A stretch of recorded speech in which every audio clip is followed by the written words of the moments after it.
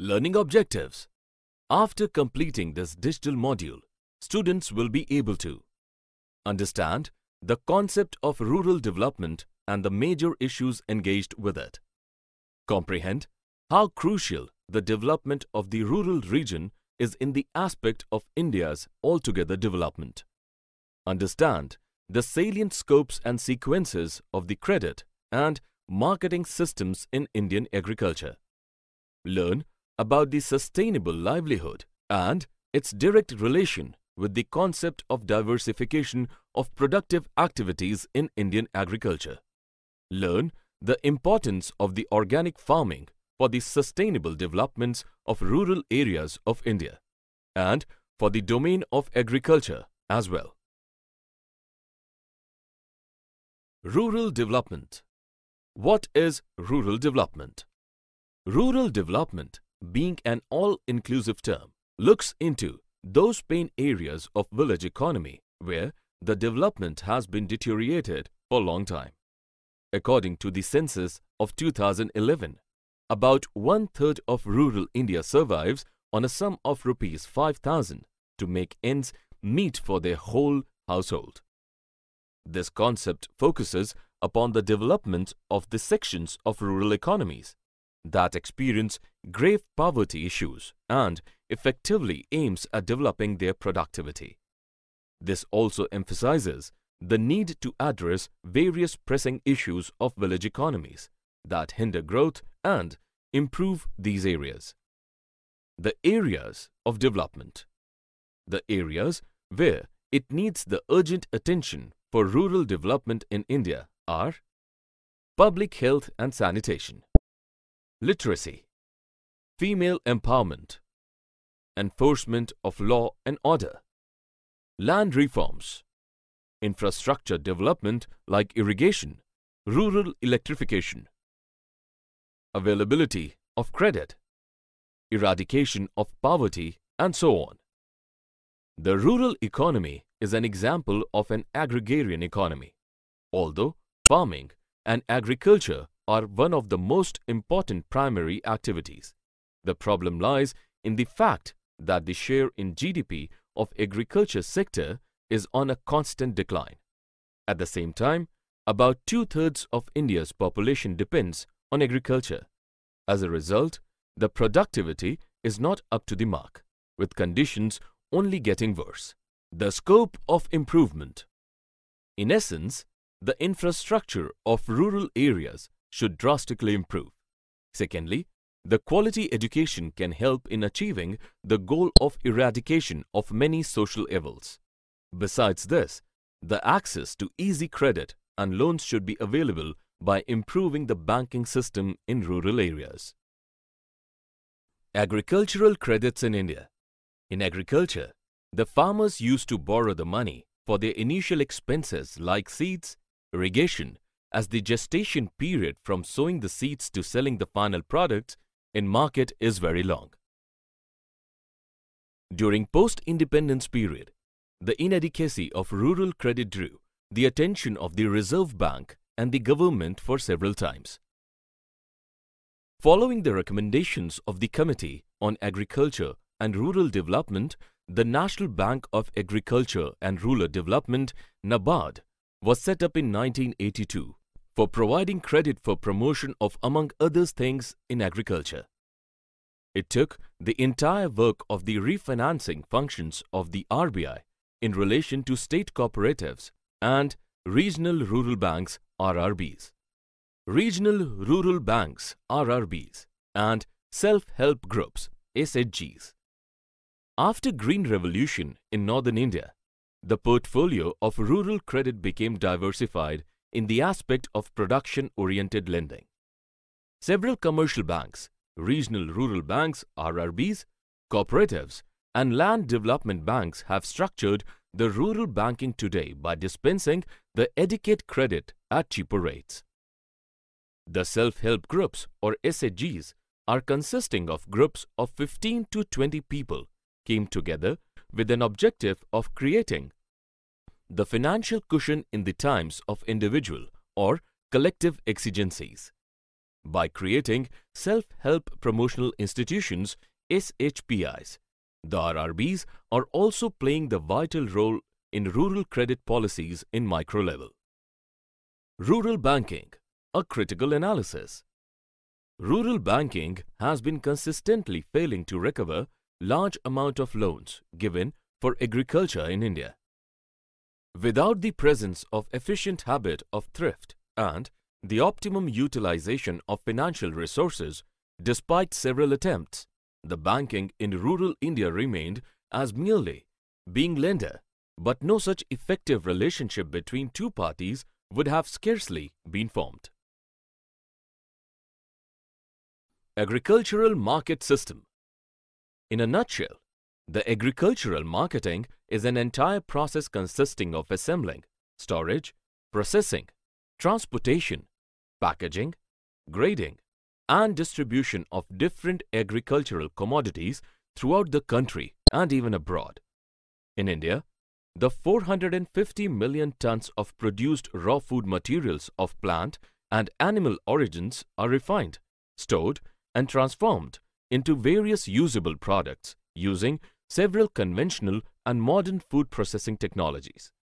The annual storage losses estimated to be 14 million ton of food grains worth USD US dollars 16,000 million every year.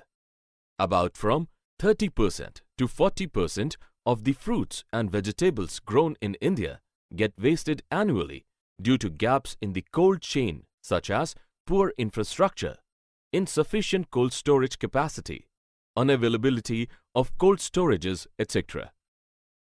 Measures to improve the marketing aspects. The most primary step is to regulate the periodic rural markets to create a transparent marketing condition. To create the proper infrastructure like roads, railways, warehouses, different food processing units is the second step in that direction. The third aspect is the cooperative form of agriculture and marketing. In Gujarat, through Amul Limited, it got succeeded to overcome the issue of depreciation and loss during post-harvest time. The Government of India has announced the minimum support prices MSPs for procurement of the food grains considering the factors of the cost of various agricultural inputs and the desired reasonable margins for the farmers for the producers as well. Food Corporation of India, FCI, being a nodal agency, works in this category through other governmental agencies. Emergence of alternate marketing channels. The farmers in rural area get the advantages of private mandis and several food processing units and other fast food chains to sell their agro products and thus to avail the opportunity of increased incomes. Diversification of productive activities. The diversification in this regard includes two aspects. First, relates to the diversification of crop production and the second relates to a shift of workforce from agriculture to other allied activities and non-farming sector. Excluding the Kharif season, being concentrated as per with the employment activities by the time of Rabi season. The irrigation depriving areas used to find a severe decline in gainful income and any sustained employment. The way of diversification is also the key to convene the changing demand patterns with supply and more importantly to act as an overall risk relief for the producer himself. Further, this is also a key enabler for achieving sustainability, given the current state of affairs on usage of water, agro inputs and soil. Agriculture and Allied Services The average land holding of Indian farmers has been consistently declining over the last two decades, down by 20% to 1.15 hectare. The silver lining though is that nearly two-thirds of the total agriculture production today is of high value in nature, a definite contrast from the state of affairs during the Green Revolution. In terms of horticulture production, India witnessed a significant increase in production to the tune of 270 million tons in 2013, from 97 million tons in 1990. Similarly, the milk production, it stood at around 53 million tons in 1990 and approximately 140 million tons today, witnessing a growth of more than 150%. Boosting diversification To further augment the rural income, we need to move up the curve through some key focus areas of intervention. They are 1. Innovative institutional mechanisms and structures 2. Policy interventions 3. Sustainable risk management 4. Technology and innovations 5. Infrastructure development and 6. Skill development. Different allied services Livestock are domesticated animals raised in an agricultural setting to produce labor and commodities such as meat, eggs, milk, fur, leather and wool. Animal husbandry output constitutes about 32% of country's agricultural output. The contribution of this sector to the total GDP during 2006-2007 was 5.26%. Moreover, India is the highest producer of milk. The country accounts for 57% of the world's buffalo population and 14% of cattle population. The average annual growth rate of fish production during the sixth five-year plan was only 3.94%.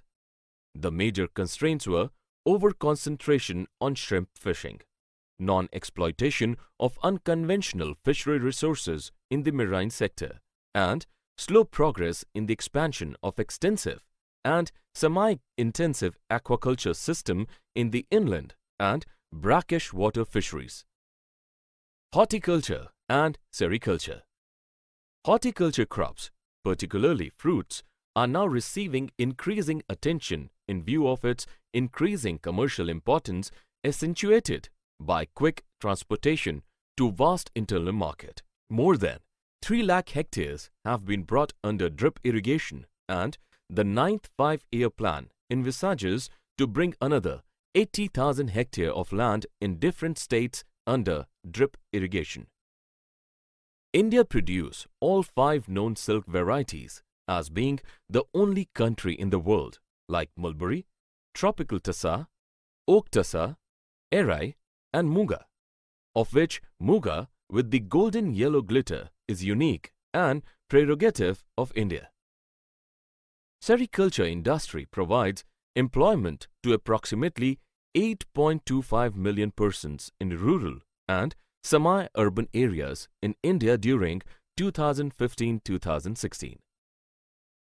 Cottage industries in rural India Village and cottage industry is defined to be an enterprise of series of operations carried on by a workman skilled in the craft in his own responsibility, works mainly in his own home, using his own tools and materials and provides his own labor or at most with the assistance of his family member. Sustainable Development and Organic Farming Organic farming is a system which avoids or largely excludes the use of synthetic inputs such as fertilizers, pesticides, hormones, feed, etc. and to maximum extent feasible relies upon crop rotations, crop residues, animal manures, off-farm organic waste, mineral-grade rock additives and biological system of nutrient mobilization and plant protection. Benefits of organic farming As modern life sciences develop, we can find eight salient benefits of this type of agriculture in respect with its conventional counterpart. They are Organic farming discourages environmental exposure to pesticides and chemicals absolutely. It helps to build the soil healthy and to be ready for next farming as well. The soil erosion can also checked in way of farming. the effects of global warming can be reduced by this genre of farming. The water conservation and its general health are supported by this type of farming. The incident of algae blooms is primarily checked by the organic farming. The animal health is supported by this. The cause of biodiversity is championed by this type of farming. The situation of the organic farming in India. What is seen in India presently are two kinds of strong undercurrents of organic farming, from limited to rapidly increasing certified organic farms, mainly producing for a premium price in the domestic or export market, and the large number of non-certified organic farms, which produce for their own households accessing local markets only. There are many areas where the production is by default organic. Uttaranchal or Uttarakhand is one such state where in hilly areas negligible amount of chemical is used. The farmers are also turning to organic production because of the high premium commanded by organic products. Summary Let us summarize what we have learned in this module.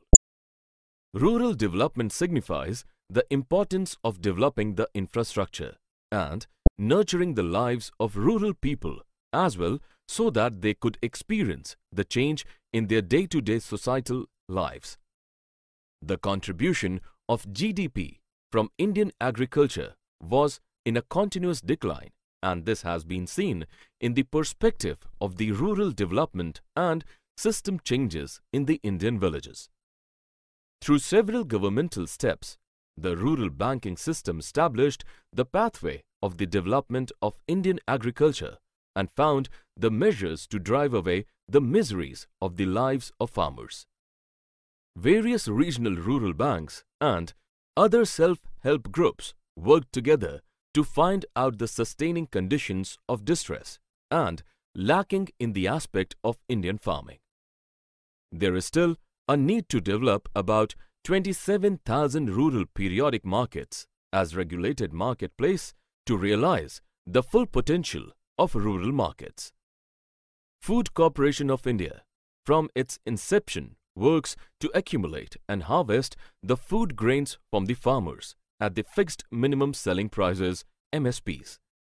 By several projects like Food for All, the governments of India have tried to approach to poorest people of the country through its well-knit public distribution system PDS.